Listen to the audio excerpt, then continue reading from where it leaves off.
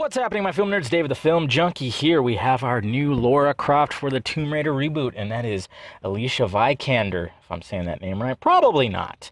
But yes, uh, for a bit there, it looked like it was going to be Daisy Ridley, of course, Rey in The Force Awakens. But no, it is going to be Alicia Vikander, who just won an Academy Award for her performance in The Danish Girl, and she is awesome.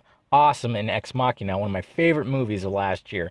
Great stuff, great stuff. I guess uh, Cara Delevingne was also in contention for uh, this role as well. So they were looking at some good actresses right here. I mean, as much as I thought Daisy Ridley was like, yeah, it's perfect, I didn't even think about Alicia Vikander. Uh, Daisy Ridley's a little too bubbly, you know. She a, she she kicked ass in Force Awakens, but there's just she has that bubbly kind of personality, and it's like you know we need a just a Lara Croft that it's just I don't know. And I think Alicia Vikander is going to do a fantastic job.